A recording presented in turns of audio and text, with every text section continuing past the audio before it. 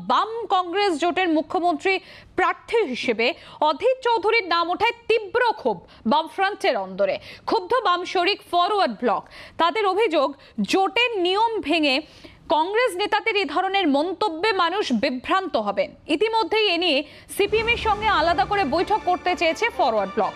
সাতাশ তারিখ ওই মিটিং হওয়ার সম্ভাবনা হয়েছে। তার আগে আজ রবিবারই বৈঠকে বসছে ষোলোটি বাম দল। আমরা নিয়ে বিস্তারিত জানব, আমরা কথা বলব আমাদের প্রতিনিধি মৌমিতা চক্রবর্তী রয়েছেন আমাদের সঙ্গে। সরাসরি মৌমিতা, তোমার কাছে জানতে চাইব, এর আগে যখন অধীর চৌধুরীর নাম প্রস্তাবনা হয়, তখন বলা হয়েছিল যে জোটের মুখ হতে পারেন সেই প্রস্তাবনা করা হচ্ছে অধীর চৌধুরীর নাম নিয়ে। এবার মুখ্যমন্ত্রী পদপ্রার্থী হিসেবে যেহেতু অধীর চৌধুরীর নাম ওঠাতে রীতিমতো ক্ষুব্ধ বাম দলের অন্দরেই ফরওয়ার্ড ব্লক ইতিমধ্যেই ক্ষোভ প্রকাশ করেছে। কি হতে চলেছে আজকে? এই যে ষোলো বাম দলে যে বৈঠক রয়েছে, তাতে কি মনে হয় কি হতে চলেছে? এবং কোন জায়গায় যেতে চলেছে এই জায়গা?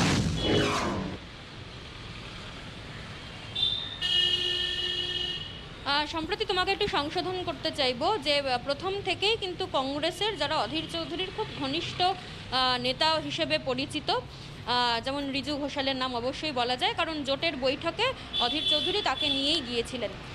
জি চব্বিশ ঘণ্টা সবা- সবার প্রথম আমরা শুক্রবার দেখাই যে তিনি স্পষ্ট ভাষায় বলেছিলেন যে এক্ষেত্রে জোটের মুখ এবং একটু কৌশলে তিনি জোটের মুখের কথা বললেও আদতে তিনি মুখ্যমন্ত্রীর কথাই বারবার বলেছেন, তার সঙ্গে আমার কথাও হয়েছে।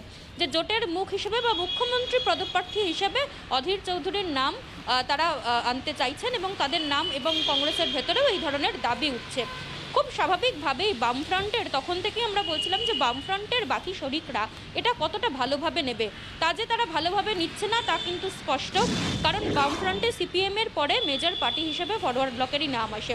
ফরওয়ার্ড ব্লকের নেতারা স্পষ্ট ভাষায় জানাচ্ছেন যে জোটের যে নির্দিষ্ট নিয়ম রয়েছে, কারণ এবার তো আসন সমঝোতা হচ্ছে না, এবার গঠবন্ধন হচ্ছে, জোট হচ্ছে এবং সেটা বাম মনোভাবাপন্ন গণতান্ত্রিক ধর্মনিরপেক্ষ জোটের যে কথাটা তারা বারবার করে বলেন, সেই বৃহত্তর মঞ্চের কথা হচ্ছে।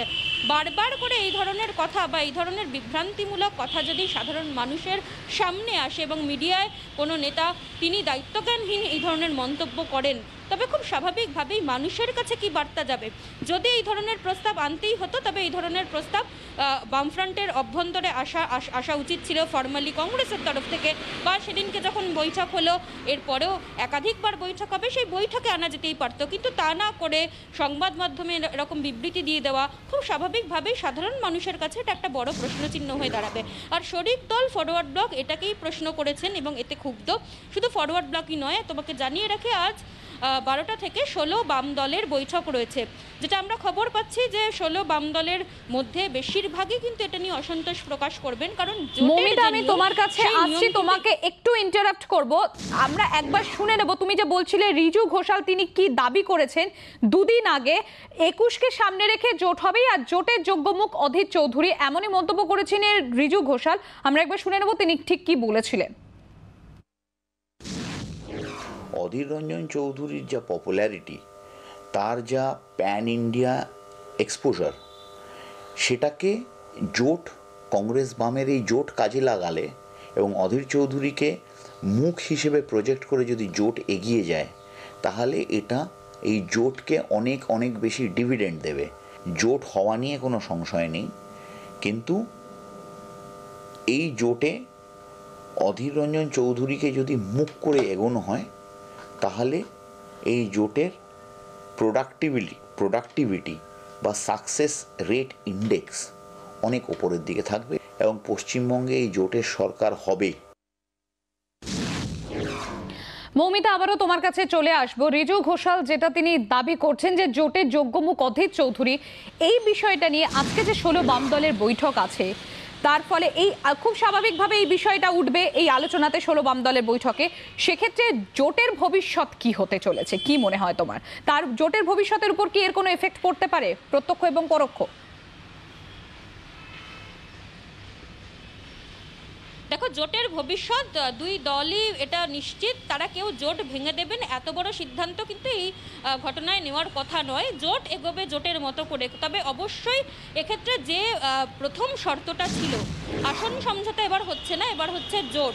সেক্ষেত্রে বারবার করে দুটো দলের নেতৃত্ব তারা প্রথম থেকে এটা সামনে আনতে চেয়েছিলেন। তোমার মনে আছে এর আগে যখন সোমেন মিত্র ছিলেন প্রদেশ কংগ্রেস সভাপতি তিনি কিন্তু বলেছিলেন যে নির্বাচনকে মাথায় রেখে কোনো আসন সমঝোতা করলে হবে না। সেই কারণে কারণ মানুষের কাছে বিশ্বাসযোগ্যতা ফিরিয়ে আনা তৃতীয় বিকল্প হিসেবে যে বাম কংগ্রেসের একটা জোট হচ্ছে সেই বিষয়টা মানুষকে ভরসা দেওয়ানো সেটাই এই মুহূর্তে জোটের কাছে সব থেকে বড় চ্যালেঞ্জ সেই জায়গায় কিন্তু ধাক্কা খাচ্ছে যদি নেতৃত্বের এই ধরনের বয়ান কোনো না কোনোভাবে আলটাপ্পা মন্তব্য বলে তারা মনে করছেন বামফ্রন্টের শরিকরা এমনটাই মনে করছেন। আর তাই আজকে ষোলো দলের বাম দলের বৈঠকে এই বিষয়টা উঠবেই। অনেক ধন্যবাদ মৌমিতা।